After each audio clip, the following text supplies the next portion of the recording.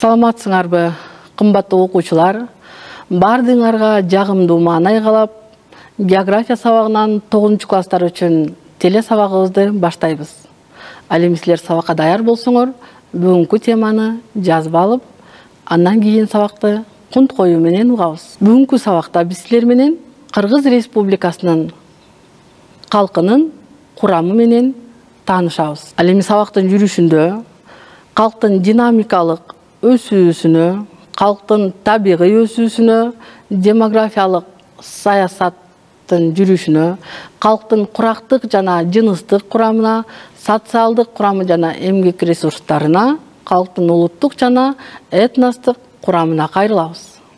Калктын динамикалык өсүүсү бул калктын жылдан жылга канчалык деңгээлде жана кандай көрсөткүчтөр менен өсүп жаткандыгын көрсөтөт. Ал эми кыргызстандын калкына кайрыла турган болсок эки миң тогузунчу жылы кыргызстанда беш миллион төрт жүз миң калк жашаса эки миң он тогузунчу жылы бул көрсөткүч алты миллион үч жүз токсон тогуз бүтүн ондон беш миңге жеткен. Ал эми кыргызстан дүйнөдө калкынын саны боюнча жүз сегизинчи орунда турат. Өзүңөр көрүп тургандай кыргызстандын калкы он жыл аралыгында бир миллионго жакын адамга көбөйгөн.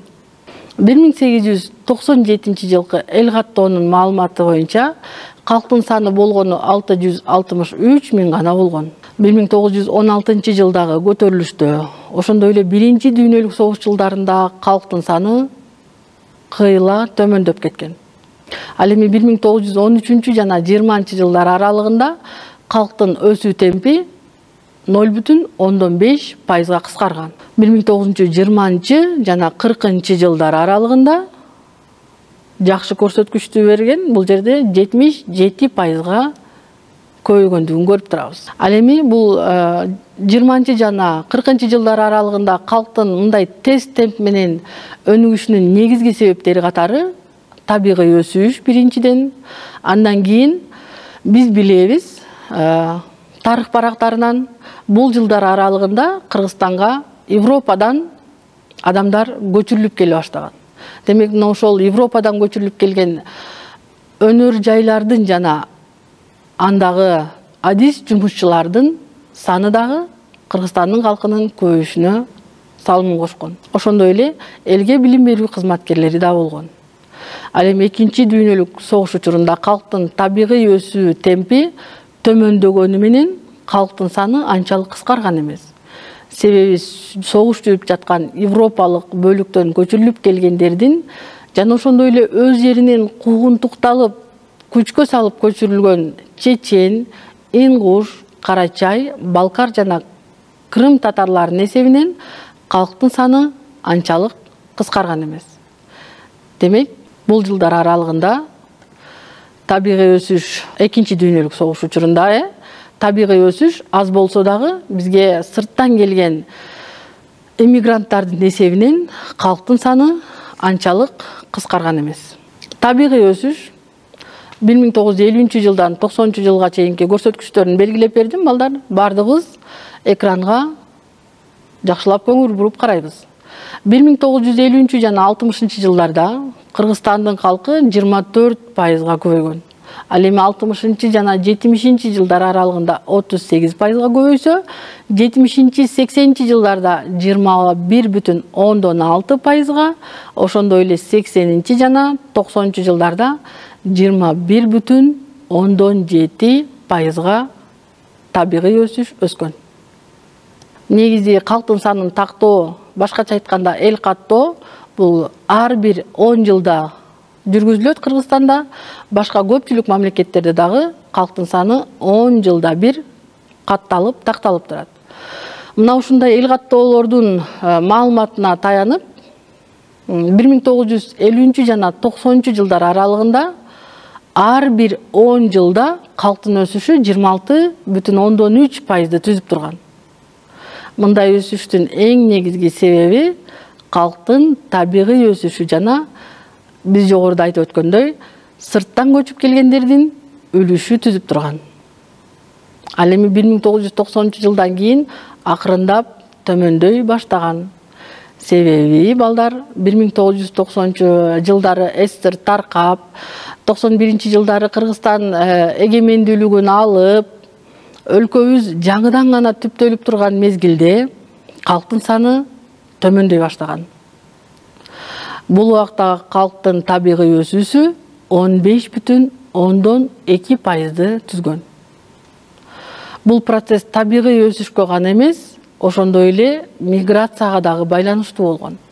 Себеби өлкөбүздөгү экономикалык социалдык абалыбыздын начарлашы менен биздин көп жарандарыбыз чет мамлекетке миграцияга чыга башташкан жана ошондой эле европадан көчүрүлүп келген өнөр жай ишканалардын адистери дагы кайра өз мекенине кайта башташкан. Мына ушундай мигрант миграциянын негизинде кыргызстандын калкы төмөндөй баштаган.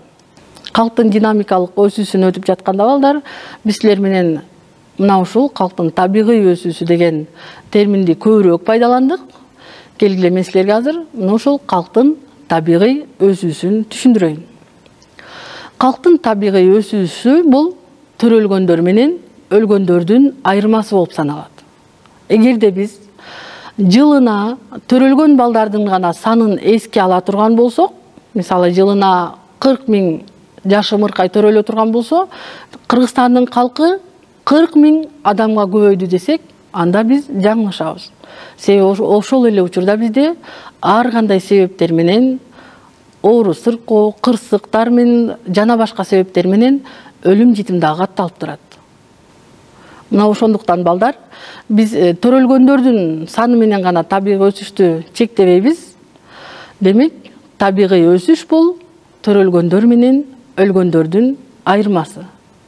Мисалы балдар кыргызстанда жылына миң ымыркай төрөлө турган болсо жана кандайдыр бир себептерден улам эки жүз адам дүйнөдөн көзү өтүп кетсе демек кыргызстандагы табигый өсүш сегиз жүз адамды түзүп атат. Демек табигый өсүш бул мен дагы да бир жолу эсиңерге салып кайталайын. Төрөлгөндөр менен өлгөндөрдүн айырмасын биз табигый өсүш деп айтабыз.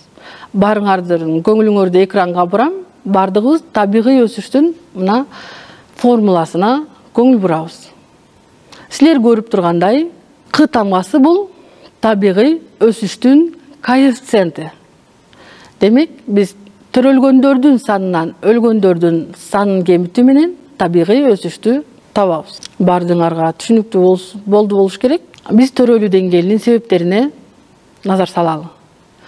Төрөлүү өлүм житим бул биологиялык процесс болсо дагы буларга төрөлүүгө көптөгөн социалдык экономикалык факторлор таасир берет.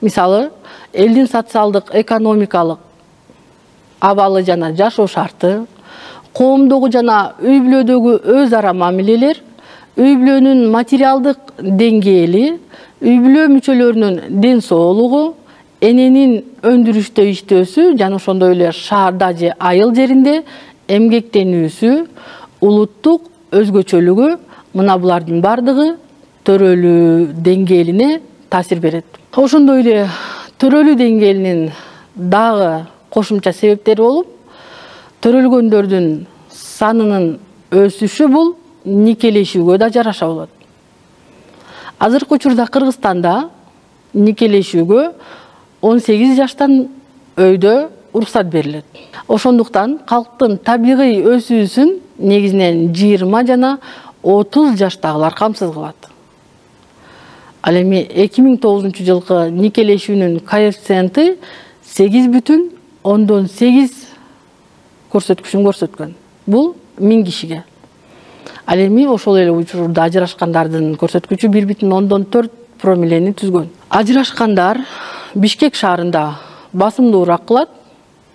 Алардын саны мисалы жалпы кыргызстан боюнча никелешүүнүн коэффициенти сегиз бүтүн ондон сегиз промилени түзүп атса бишкек шаарында эки бүтүн ондон төрт бул ажырашкандардын көрсөткүчү. Ал эми чүй облусунда эки бүтүн ондон үч нарын баткен жалал абад ош облустарында ноль бүтүн ондон алтыны гана түзөт.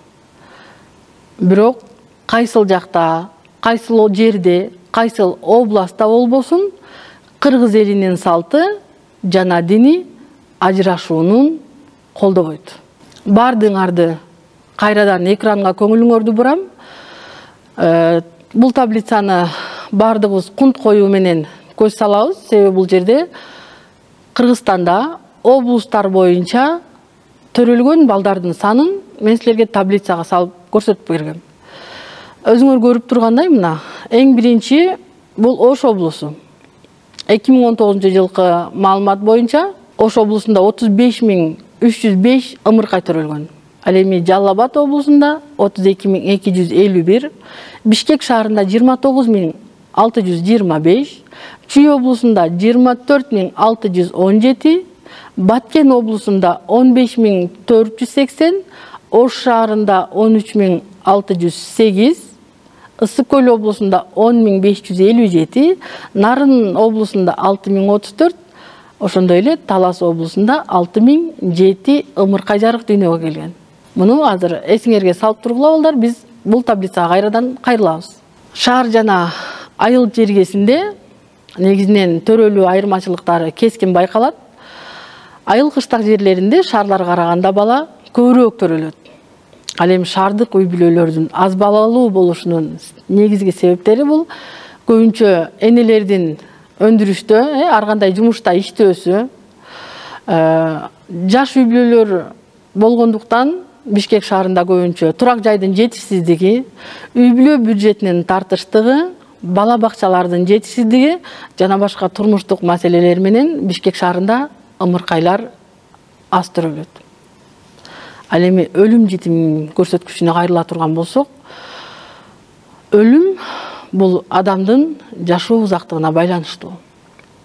Өлүм көбүнчө наристелерде жана улгайган адамдарда болот. Азыркы кезде дүйнө жүзүндө өлүм житим миң кишиге сегиз бүтүн ондон алты пайызды түзсө кыргызстанда бул көрсөткүч алты бүтүн ондон беш пайызды түзөт. Демек дүйнөнүн көрсөткүчүнө салыштырмалуу кыргызстанда эки пайызга азыраак. Өлгөндөрдүн эң төмөнкү көрсөткүчү эки миң тогузунчу жылы ош облусунда катталган болсо эң жогорку көрсөткүч чүй облусунда катталган. Ал эми эки миң тогузунчу жылы маалыматтарга таянсак чүй облусу кайрадан эле өлүм житим көп катталган облус болуп эң алдыңкы көрсөткүчтү көрсөтүп турган. Ал эми эки миң тогузунчу жылкы маалыматта ош облусу эң аз көрсөткүчтү көрсөтүп атса бул он жыл аралыгында эки миң он тогузунчу жылы тагыраагы бул чүй облусунан кийинки экинчи орунда турган. Ал эми эки миң он тогузунчу жылкы маалымат боюнча өлүм житимдин эң аз катталган көрсөткүчү бул талас облусуна тиешелүү болгон. Кайрадан экранга көңүлүңөрдү бурам балдар бул жерде өлгөн адамдардын облустар боюнча айырмачылыгы. Өлүм житимдин эң көп катталган аймагы бул чүй облусу. Андан кийин ош облусу. Чүй облусунда алты миң үч жүз он сегиз адам болсо ош облусунда беш миң сегиз жүз кырк бир адамды түзүп атат. Үчүнчү орунда жалал абад төртүнчү орунда бишкек андан кийин ысык көл баткен нарын. Ал эми өлүм житимдин эң аз катталган көрсөткүчү дагы бир жолу кайталайын бул талас облусуна тиешелүү өлүмдүн себептеринин негизги көрсөткүчтөрү катары бир нече белгилерди белгилеп койдум балдар. Баардыгыбыз көңүл буруп карап отурабыз биринчи орунда кан айлануу системасы оорулуулардын өлүмү кырк тогуз пайызды түзгөн демек өлүм житимдин кырк тогуз пайызы бул кан айлануу системасы менен системасы ооруган адамдардын өлүмү ал эми экинчи орунда ар кандай кырсык жол кырсыгы жана башкалар бул тогуз бүтүн ондон жети пайызды түзгөн үчүнчү орунда рак оорулардан тогуз бүтүн ондон бир пайыз. Төртүнчү орунда дем алуу органдары жана оорулуулардын сегиз бүтүн ондон төрт пайыз. Бешинчи орунда тамак аш сиңирүү органдары оорулуулар алты бүтүн ондон алты пайыз. Ал эми алтынчы орунда жугуштуу жана мите ооруларынын өлүмү алты пайызды түзгөн. Калктын табигый өсүүсүнө кайрадан кайрылабыз балдар. Биз силер менен төрөлүүнүн санын ошол эле учурда өлүм житимдин санын билип алдык. Келгиле эми кайрадан табигый өсүшкө кайрылабыз. Биз силер менен калктын табигый өсүүсүн аныкташ үчүн мына бул экранда белгиленип турган промилле бирдигин колдонобуз. Промилле бирдигин силер буга чейин да билесиңер. Себеби биз промилле бирдигин суунун туздуулугун жана башка нерселерди өлчөөдө колдонобуз. Промилле деген сөздү жакшыраак түшүнүп алабыз балдар. Бул миңден бир үлүш дегенди түшүндүрөт. Демек бул бир нерсенин миңдик үлүшүн белгилөө үчүн колдонулат. Мисалы суунун туздуулугу он бир промилле болсо демек суунун жалпы массасынын ноль бүтүн миңден он бирин туз ээлейт башкача айтканда балдар мисалы э, бир килограммда миң грамм бар экенин баардыгыбыз билебиз. Эгерде бир килограмм сууну биз миң грамм деп эсептеп ала турган болсок демек бир килограмм сууда он бир грамм туз бар дегенди түшүндүрөт. Мына ушундай эле эсеп менен биз миңден бир үлүш менен табигый өсүштү дагы эсептеп алабыз. Мисалы табигый өсүштү эсептөөдө төрөлгөндөрдүн саны миң кишиге алынат ошондуктан промилле менен аны туюнтуп алабыз. Эгерде төрөлгөндөрдүн коэффициенти жыйырма беш промилле болсо миң кишиге жыйырма беш бала төрөлдү дегенди түшүндүрөт. Баардыгыбыз түшүндүк деп ойлойм э?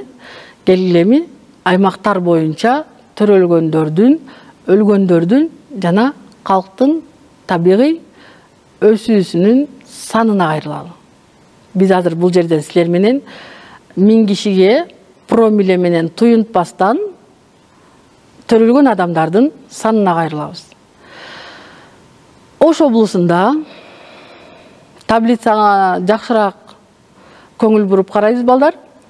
Ош облусунда бир жылда эки миң он тогузунчу жылкы маалымат боюнча отуз беш миң беш жүз адам төрөлсө андан беш миң сегиз жүз кырк бир адам ар кандай себептерден улам көз жумду анын калдыгы жыйырма тогуз миң алты жүз алтымыш төрт демек ош облусунда калктын табигый өсүүсүнүн саны бул жыйырма тогуз миң алты жүз алтымыш төрт адамга барабар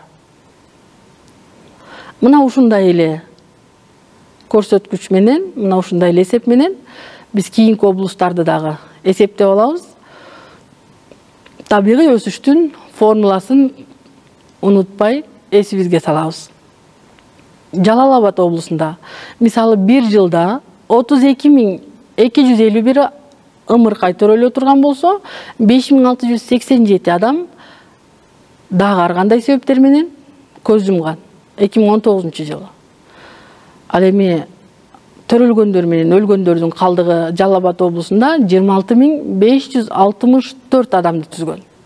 Демек бул жалал абад облусундагы табигый өсүш. Бишкек шаарында табигый өсүш жыйырма төрт миң жети жүз сексен болсо чүй облусунда он сегиз миң эки жүз токсон тогуз адамды түзгөн. Баткен облусунда он үч миң бир жүз жыйырма үч адам болсо ош облусунда он бир миң тогуз жүз жетимиш жети. Ысык көлдө жети миң эки жүз токсон сегиз таласта төрт миң беш жүз жетимиш беш ошондой эле нарында төрт миң бир жүз тогуз табигый өсүштүн көрсөткүчү. Бул жерде адамдын санына берилип атат. Бул таблицаны карап туруп балдар баарыңар байкадыңар болушуңар керек. Мисалы нарын облусу. Нарын облусун биз калктын төрөлүүсүн айтып атканда алтынчы орунда койгонбуз ал эми талас облусу балдардын төрөлүүсү жагынан жетинчи орунда эң акыркы орунда турган. А биз табигый өсүштү адамдын саны боюнча эсептей келгенде нарын облусу тескерисинче жетинчи орунга эң акыркы орунга түшүп калды. Демек биз бул жерде нарын облусундагы адамдардын өлүмү бир аз көбүрөөк болгондуктан табигый өсүш бул жерде азайып калган. Мына ушундай эле көрсөткүч чүй облусунда. Чүй облусу дагы адамдардын төрөлүүсү жагынан үчүнчү орунда турса ал эми өлүм житимдин себептери боюнча баардыгыңар көрүп турасыңар таблицадан биринчи орунду камсыздап атат.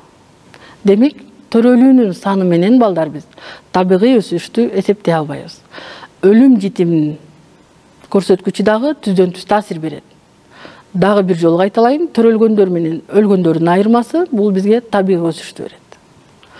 Ал эми бул силер көрүп турган таблица адамдардын санына айлан э, алынды. Биз жогоруда айттык табигый өсүштү биз областтар аралык айырмачылыктарын билиш үчүн ошол эле учурда республикалык э, масштабта табигый өсүштүн көрсөткүчүн чыгарыш үчүн биз аларды промилле менен туюнтуп алабыз ал эми промилле менен туюнтканда биз көрүп турган таблицадагы орундар булар таптакыр башкача көрсөткүчтү берет себеби төрөлгөн балдардын саны ошол облустагы адамдардын калкынын санына бөлгөндө балким аз болуп калышы мүмкүн же болбосо ошол эле учурда көп болуп калышы мүмкүн байкоо салабыз баардыгыңар көңүл буруп карап тургула эми биз бул жерде ушул эле төрөлүүнү ушул эле өлүм житимдин санын биз адамдын санына эмес коэффициент менен промилле менен туюнтуп алдык демек дагы бир жолу эсиңерге салайын. Биз промилле менен туюнтуп алганда миң адамга эсептейбиз. Биз төрөлгөндөрдүн санын миң адамга өлгөндөрдүн санын миң адамга деп алабыз. Ошондуктан бизге табигый өсүштү промилле менен алганда мынакей ош шаары бул табигый өсүштүн эң жогорку көрсөткүчүн көрсөтүп атат ал эми төрөлүүнүн саны боюнча биринчи орунда турган ош облусу төртүнчү орунда туруп калды. Бұның себеби ош облусунда төрөлүүнүн саны көп болгону менен андагы калктын саны андан дагы көп. Демек төрөлүү качан гана адамдын калкынын санына жараша өскөндө табигый өсүш өсөт. А тескерисинче биз миң адамга алганда төрөлүүнүн саны коэффициент бул таптакыр башкача көрсөткүчтү көрсөтөт мына ушул эле баткен облусу баткен облусу экинчи орунда туруп атат бул табигый өсүштүн көрсөткүчү жыйырма төрт бүтүн ондон жети пайыз. Үчүнчү орунда бишкек шаары жыйырма үч бүтүн ондон сегиз промилле. Ош облусу жыйырма алты бүтүн ондон бир промилле бул төрөлүүнүн саны болсо төрт бүтүн ондон үч өлүм житимдин көрсөткүчү демек табигый өсүш бул жерде жалал абад облусунда жыйырма бир бүтүн ондон жети промиллени түзүп атат. Баардыгыңар э, таблицадан көрүп тургандай балдар табигый өсүштүн эң жогорку көрсөткүчү бул ош шаарына туура келсе ал эми табигый өсүштүн эң төмөнкү көрсөткүчү нарын облусуна туура келди. Демек биз жалпы облустар аралык табигый өсүштүн көрсөткүчтөрүн орто эсеп менен алуу менен республика боюнча табигый өсүштүн көрсөткүчү жыйырма бир бүтүн ондон жети промиллени түздү бул эки миң он тогузунчу жылкы маалымат боюнча. Республика боюнча төрөлгөндөрдүн саны ар бир облустта ар башкача экенин таблицадан баамдап көрдүк республикада төрөлүүнүн эң жогорку көрсөткүчү ош облусуна туура келсе бирок тескерисинче бул табигый өсүш боюнча ош облусу алдыңкы орунда дегенди түшүндүрө алган жок. Себеби балдардын саны ошол аймактын калкына бөлүштүрө келгенде башкача көрсөткүчтү көрсөтүп калаарын мен жогоруда силерге айтып өттүм. Мен силерге мисал менен түшүндүрүп берейин балдар.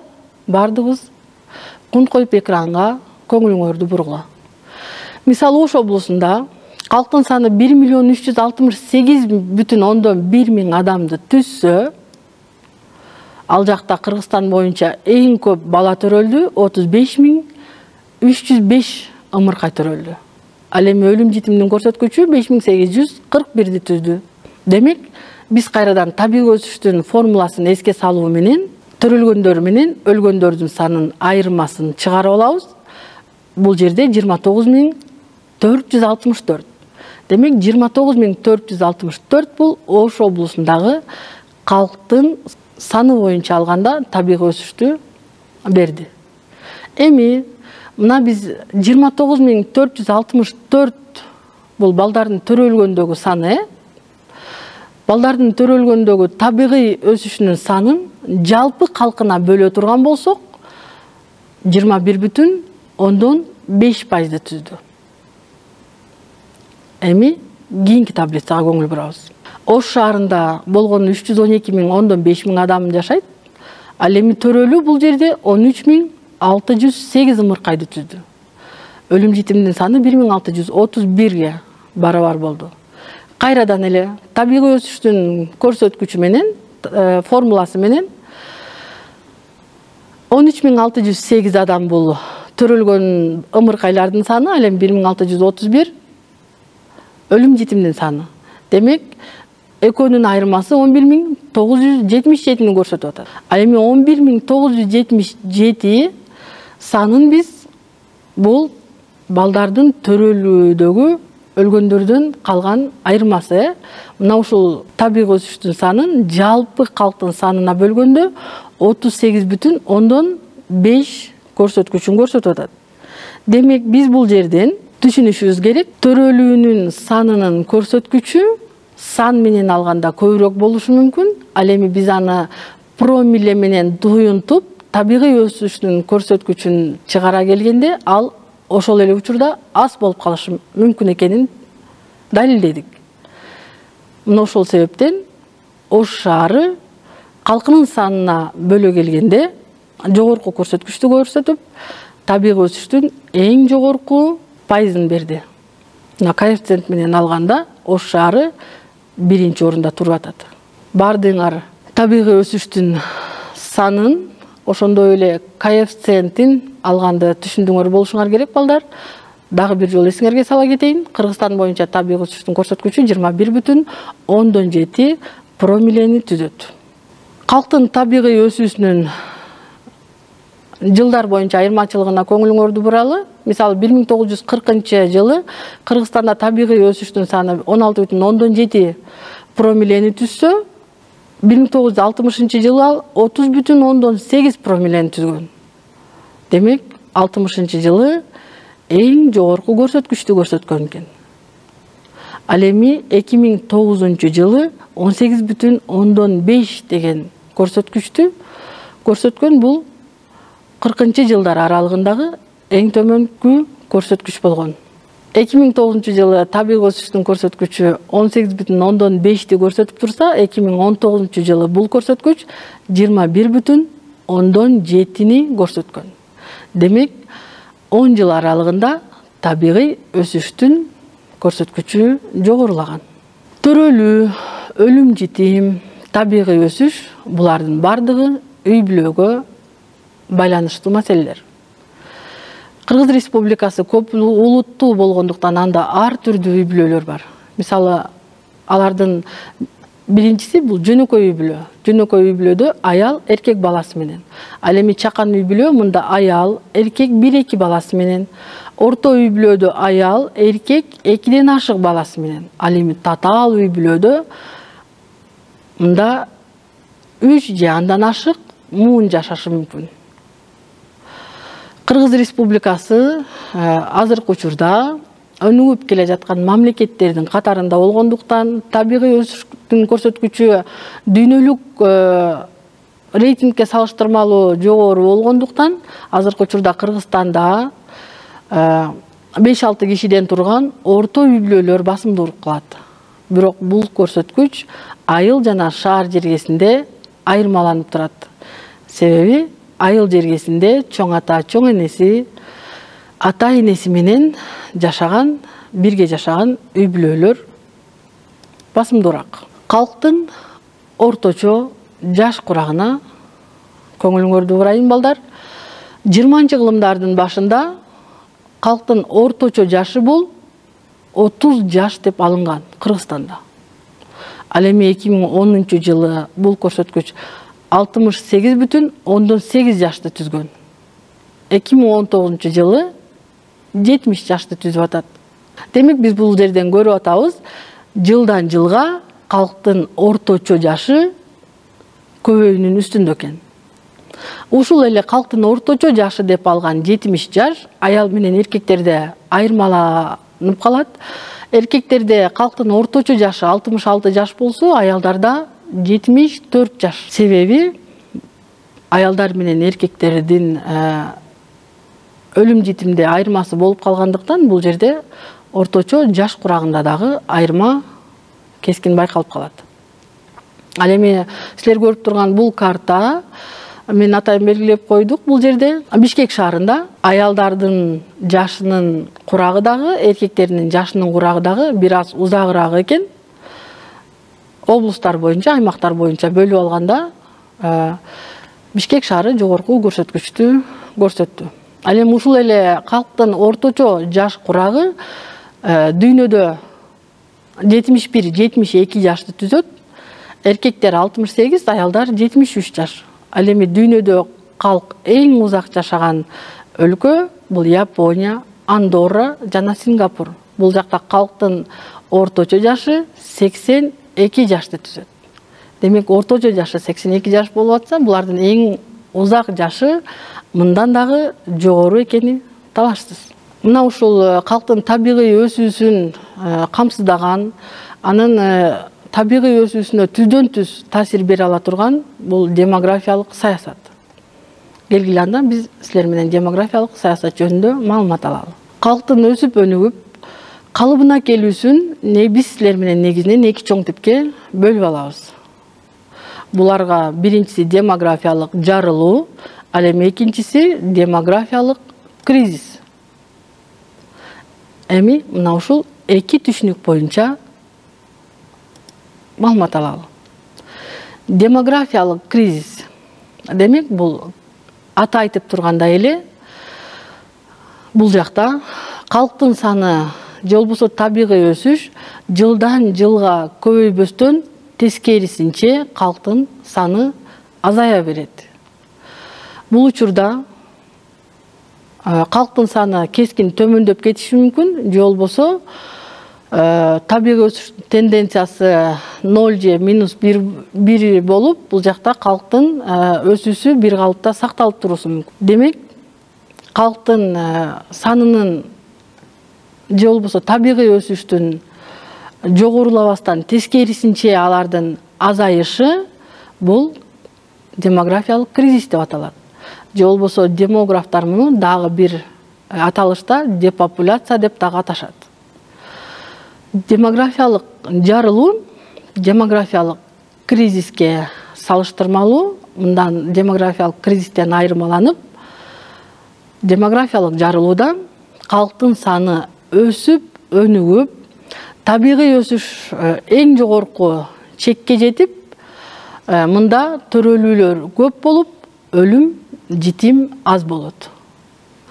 Мындай демографиялык жарылуу айрым өлкөлөр үчүн калктын көбөйүүсүн камсыздап жакшы жагын көрсөтө турган болсо айрым өлкөлөр үчүн бул демографиялык жарылуу чектөөлөргө алып келет мына ушундай чектөөлөрдү же болбосо калктын санын өсүшүн жөнгө салган саясат бул демографиялык саясат деп аталат дагы бир жолу кайталайын демографиялык саясат калктын өсүүсүн жөнгө салат мында мамлекет өзү каалаган жакка багыттаган калктын өсүшүнө таасир тийгизүү максатында жүргүзүлгөн администрациялык экономикалык үгүт насааттык жана башка иш аракеттердин схемасы. Биз жогоруда айтып кеткендей мамлекет өзү каалаган багытта деп калдык. Ал кандай багыт деп э, ойлонуп жаткан болсоңор ал багыттар ошол өлкөнүн калкынын демографиялык жарылуусуна же болбосо демографиялык кризиске багытталган саясаттар болушу мүмкүн. Мисалы демографиялык кризисте төрөлүүнүн көбөйүшүн жана калктын өсүүсүн көздөйт демографиялык кризиске учураган өлкөлөр калктын өсүүсүн камсыздаш үчүн ар түрдүү экономикалык стимулдарды колдонот мисалы көп балалуу үй бүлөлөргө э, турак жай менен камсыз кылат же болбосо төрөлгөн балдарды он сегиз жашка чейин эмгек курагына чейин аларды мамлекет өз каржылоосуна алышы мүмкүн. Мына ушундай э, саясаттарды демографиялык саясат жүргүзөт. Эгерде демографиялык жарылууга дуушар болгон болсо мамлекет тескерисинче мында калктын санын кыскартуу саясатын жүргүзөт. Мындай саясатты ишке ашыруу үчүн азыркы учурда корея индия өлкөлөрү көбүрөөк аракет кылууда себеби бул жакта калктын саны кескин өсүп кеткен. Ошондуктан бул жакта демографиялык саясат бир нече иш аракеттерди иштеп чыккан.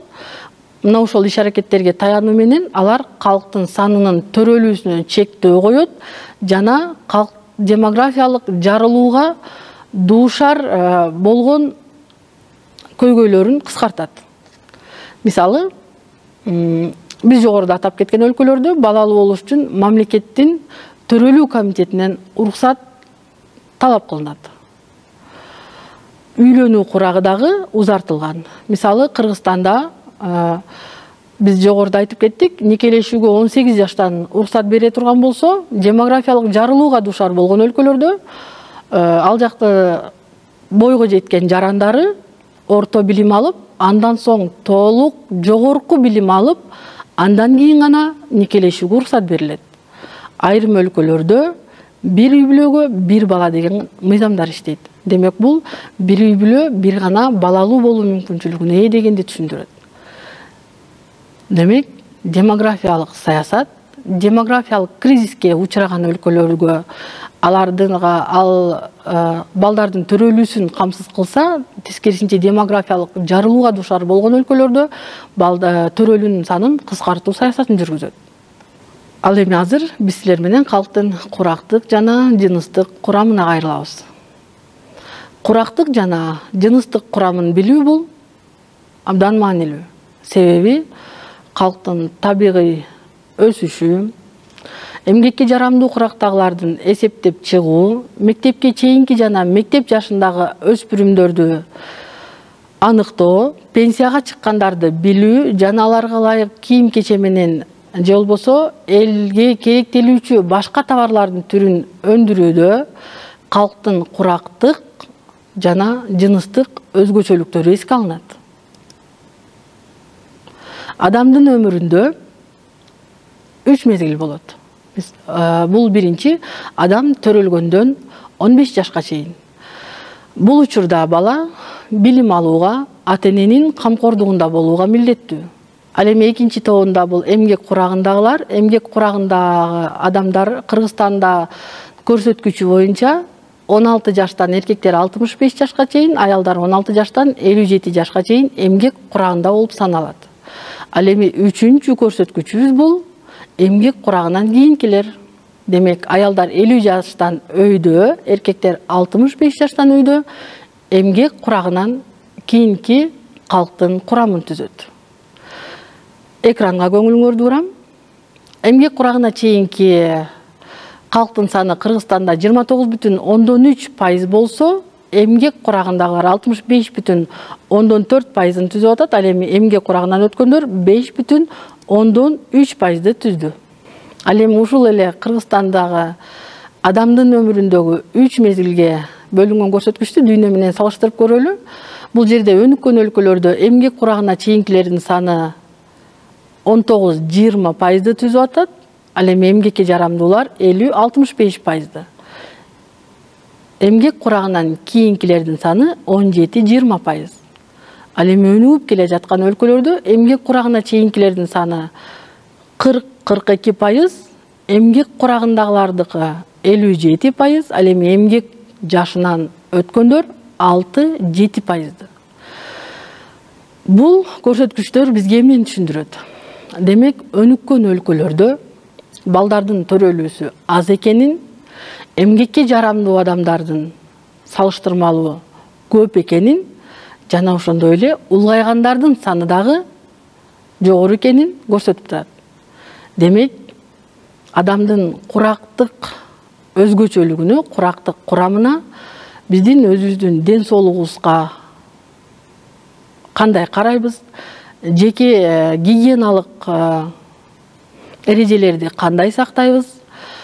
Кандай тамактар менен тамактанабыз алар биздин организмге канчалык деңгээлде пайдалуу экени булардын баардыгы биздин курактык өзгөчөлүгүбүзгө таасир берет. Өнүгүп келе жаткан өлкөлөрдө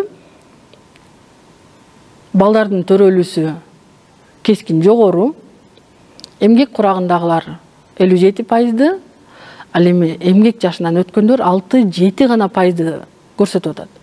Демек өнүгүп э, келе жаткан өлкөлөрдө эмгек курагынан өткөндөр аз көрсөткүчтү көрсөтүп атат. Бул болсо калктын жашынын кыскалыгы деп айтат элем. Ал эми мына бул белгиленип турган кызыл көрсөткүч бизде кыргызстандын көрсөткүчтөрү бул жалпы өнүгүп келе жаткан өлкө менен өнүккөн өлкөлөрдүн ортосунда көрсөткүчтү көрсөтөт экен кыргызстанда анчалык жок ал эми аялдар менен эркектердин жаш курагынын айырмачылыгына кайрыла турган болсок балдар төрөлгөндөн он беш жашка чейин мисалы кыргызстанда бир миллион сегиз жүз жетимиш үч миң беш жүз элүү эки бала төрөлсө алардын тогуз жүз элүү беш миң эки жүз элүү алтысы эркектер ал эми тогуз жүз он сегиз миң эки жүз алтымыш жети бул кыздар ушул эле көрсөткүч он алты жаштан алтымыш беш жашка чейин бул эмгек курагында чоң айырмачылык алып келип атат демек бул жерде дагы эркектердин арасында өлүм житим көбүрөөк экенин көрүүгө болот экранга карап таблицага көңүлүңөрдү бургулаңыздар бул жерде биз аял менен эркектердин айырмачылыгын эмгек курагына чейинки эмгек курагында жана эмгек курагынан кийинки курактык айырмачылыгын көрүп атабыз. Демек кыргызстанда калктын көбүрөөк бөлүгүн эмгек курагындагы адамдар түзөт. Алардын ичинен аялдар басымдуураак кылат. Ал эми төрөлгөндө эркектер басымдуураак кылат дагы эмгек курагына келгенде эркектердин саны азайып калып атат ал эми алтымыш төрт жаштан өйдө андан дагы азайып калып атат демек бул жерде эркектердин оор жумушта иштөөсү эркектердин дайыма миграцияга көбүрөөк катышкандыгы менен бул жерде эркектердин санынын кескин азайып кетүүсүн көрүүгө болот эркек жана аялдардын облустар боюнча айырмачылык көрсөткүчтөрүн карайбыз жалал абад облусунда элүү бүтүн ондон үч пайыз эркектер болсо аялдар кырк тогуз бүтүн ондон жетини түзүп атат. Демек жалал абад облусунда эркектер салыштырмалуу көбүрөөк ош облусунда дагы бир пайызга көбүрөөк баткенде облусунда бул жерде дагы көбүрөөк. Эркектердин саны элүү бүтүн ондон тогуз пайызды түзүп атса аял кишилер кырк тогуз бүтүн ондон бир пайызды түзүп атат. Ал эми ысык көлдө тескерисинче эркектердин саны кырк тогуз бүтүн ондон сегиз. Ал эми талас облусунда дагы эркектердин саны басымдуураак кылып атат. Чүй облусунда элүү бүтүн ондон жети пайыз. Бул баткен облусунан кийинки эле эркектердин саны көбүрөөк болгон аймак чүй облусу экен. Ал эми бишкек шаарында жана ош шаарында эркектердин саны кыйла төмөн. Себеби бул жерде республикалык маанидеги шаар болгондуктан бул жерде калктын саны дагы жогору. Ошол эле учурда бул жерде миграциялык процесстер дагы таасир бериши мүмкүн. Ал эми калктын улуттук жана этностук курамына кайрыла турган болсок азыркы учурда дүйнө жүзүндө калкынын саны миллиондон ашкан ошондой эле айрым учурда алардын саны жүз же болбосо он же болбосо айрым учурда бир эки эле кишини түзгөн дагы улуттар кездешет бир миң тогуз жүз сексен тогузунчу жылкы эл каттоодо он жана андан аз калк болгон улуттун өкүлдөрү дагы кездешкен мындай улуттун өкүлдөрүнүн саны отуз бешке жеткен. Ал эми өлкөбүздө жакынкы өлкөлөрдүн гана эмес эң алыскы өлкөлөрдүн дүйнө бөлүктөрүнүн өкүлдөрү да жашайт. Мисалы гректер кытайлар болгарлар чехтер персилер күрттөр финдер словактар америкалыктар арабдар кубалыктар жана ошондой эле австралиялыктар жана хорваттар дагы башка улуттун өкүлдөрү жашайт. Ал эми алардын улуттук этностук турган болсок кыргызстандын калкы көп улуттуу. Өлкөбүздө жүз элүүдөн ашык улуттун өкүлдөрү жашайт. Булар бири бири менен саны тили дини маданияты үрп адаты антропологиялык курамы менен айырмаланышат. Ал эми антропологиялык жактан э, өлкөбүздөгү жашаган калктар бул негизинен монголоид жана европеид болуп эки расадан турат ал эми тилдерине кайрыла турган болсок түрк жана славян тилдеринде сүйлөгөн улуттар басымдуу бул жерде эки миң он сегизинчи жылкы маалымат боюнча кыргыздар кыргызстандын калкынын жалпы көрсөткүчүнүн жетимиш үч бүтүн ондон үч пайызын кыргыздар түзгөн ал эми экинчи орунда он төрт бүтүн ондон жети пайыз менен өзбектер беш бүтүн ондон алты пайыз менен орустар ал эми калган алты бүтүн ондон төрт пайызын башка улуттар булар биз жогоруда айтып кеткендер дуңгандар уйгурлар тажиктер жана башка бул жерде белгиленип турган улуттар ар биринин көрсөткүчтөрүн дагы бөлүп көрсөткөнмүн демек кыргызстандагы эң аз улуттун өкүлдөрү жашаган бул немецтер болгону ноль бүтүн ондон үч пайызды түзөт. Ал эми бул жерде ушул эле этностук курамды мен силерге сан менен көрсөтүп койдум балдар. Кыргызстандын аймагындагы жалпы калктын саны алты жарым миллионду түзө турган болсо мисалга анын төрт миллион жети жүз сексен жети миң төрт жүз адам бул кыргыздарды түзөт.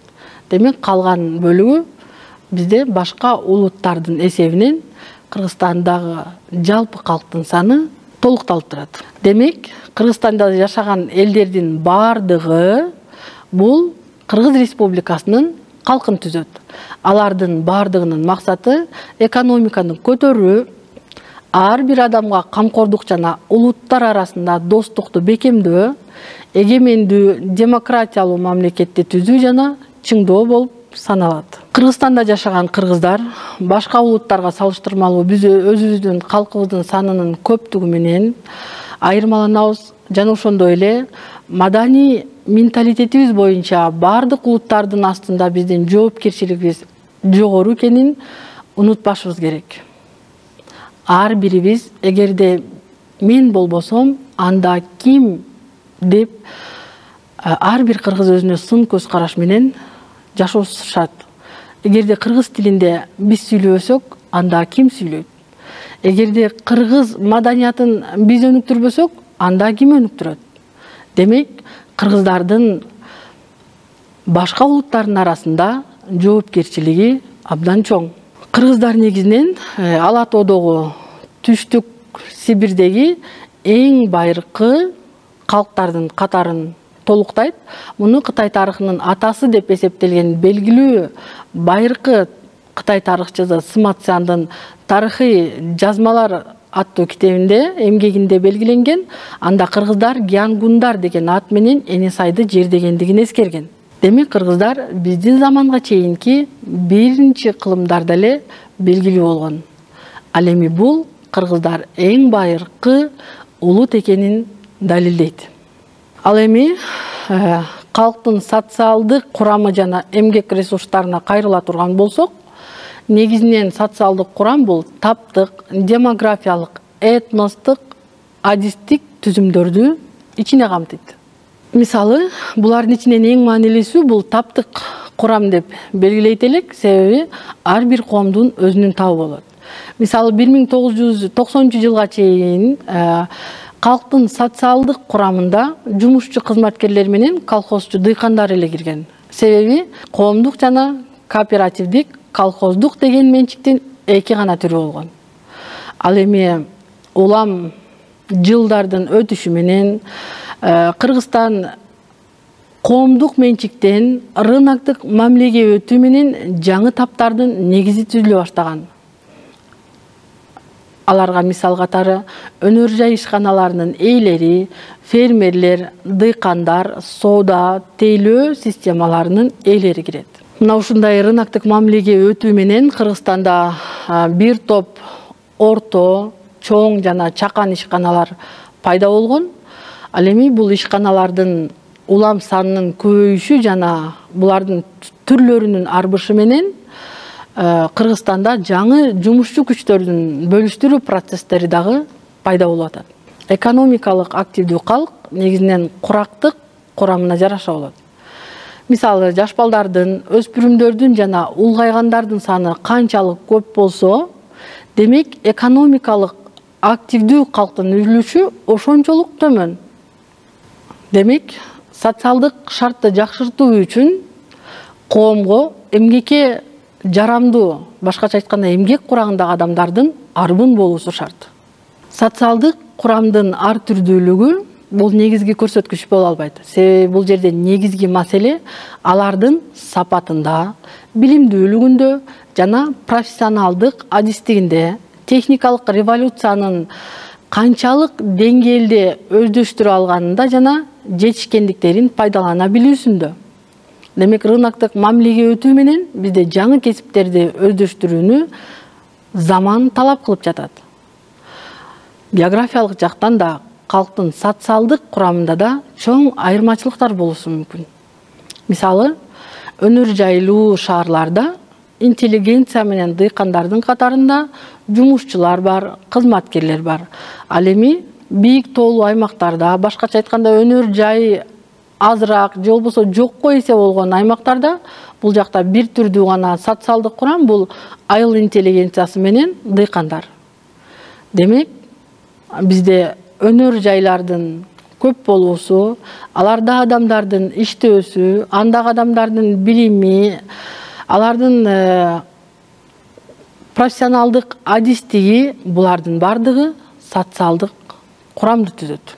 Эмгек ресурстары бул калктын эмгекке жарамдуу бөлүгү жанагы биз жогоруда сөз кылган социалдык курамдын эң негизги көрсөткүчүн түзгөн мына ушул эмгек ресурстары. Эмгек ресурстарына карата анан биз калктын социалдык курамын аныктайбыз демек эмгек ресурстары бул адамдардын физикалык жактан дене түзүлүшү жетилген алган билими жана кесиптик квалификациялык деңгээли боюнча коомдо пайдалуу ишмердүүлүк менен алектенүүгө жөндөмдүү болгон калктын бир бөлүгү. Дагы бир жолу кайталап өтөйүн. Демек калктын эмгек ресурстары бул. Коомдун башкы өндүрүштүк күчү болуп саналат. Мына ушул эмгек ресурстарынын натыйжасында экономика көтөрүлөт. Мына ушул эмгек ресурстарынын натыйжасында көп көп ишканалар иштейт. Демек эмгек ресурстары бул эң башкы өндүрүштүк күч. А силер көрүп турган бул таблица балдар калктын эмгекке жарамдуу бөлүгү. Демек бул калктын эмгекке жарамдуу бөлүгү өндүрүштүн негизги күчү деп дагы бир жолу эсиңерге салайын. Эмгекти сарп кылуу негизинен э, буларды багыттары боюнча эки багытка бөлүп алабыз. Биринчиси тейлөө чөйрөсүндө иштегендер ал эми экинчиси материалдык өндүрүштө иштегендер бул экөөнүн айырмачылыгына токтоло турган болсок материалдык өндүрүштө иштегендер булар кимдер өнөр жайда иштегендер курулушта иштегендер айыл чарбада токой чарбасында транспортто байланышта айыл чарба продукцияларын даярдоодо соодада коомдук тамак аш системасында иштегендер булардын баардыгы материалдык өндүрүштө иштегендер ал эми тейлөө чөйрөсүндө иштегендер бул агартуу тармагында иштегендер э, искусство адабият физкультура саламаттыкты сактоо социалдык камсыздоо банктарда иштегендер башкаруу коргонуу тармагы партиялар коомдук уюмдар мына булардын баардыгы калктын тейлөө чөйрөсүндө иштегендердин катарын толуктайт. Мына ушул калктын эмгекке жарамдуу бөлүгүн балдар. Белгилүү римпоз демограф урланис төмөнкүдөй болуп беш топко бириктирген ал эми он алты жана он тогуз жаштагылар орто жана атайын кесиптик техникалык окуу жайлардын бүтүрүүчүлөрү жалпы билим деңгээли жогору бирок иш тажрыйбасы азыраак себеби булар баардыгы окуу жайларды жаңы гана бүткөндүктөн бул жерде билим деңгээли жогору бирок иш тажрыйбасы азыраак. Ал эми андан кийин отуз жаштан отуз тогуз жашка чейинкилер булар жогорку квалификация алуу жетиштүү иш тажрыйбасы бар эмгек ресурстарынын эң активдүү жана эң туруктуу тобу мына ушул отуз отуз тогуз жаштагылар. Жыйырма жыйырма тогуз жаштагылар Э, жалпы билими жакшы атайын даярдалган бирок иш тажрыйбасы азыраак эркектер э, кыракта миграцияга көбүрөөк катышкандыктан кызматтан бошонулар арбын болот. Ал эми аялдар бул кыракта көбүнчө жаңыдан турмуш куруп бала менен үйдө болот. Ал эми кырк кырк тогуз көп жылдык иш тажрыйбалары бар. Жогорку эмгек квалификация алуу иштеген жери туруктуу жумуштан бошонулары аз болот. Ал эми элүү элүү тогуз жаштагылар бул курактагылар негизинен улгайгандар. Иш тажрыйбалары чоң эмгекке активдүүлүгү жана өндүрүмдүүлүгү төмөн. Ошол эле учурда кызматкерлердин үлүшү кыйла жогору. Мына ушундай жагымдуу маанай менен бүгүнкү сабагыбызды жыйынтыктайбыз. Келерки сабактарыбыздан кездешкенче саламатта туруңуздар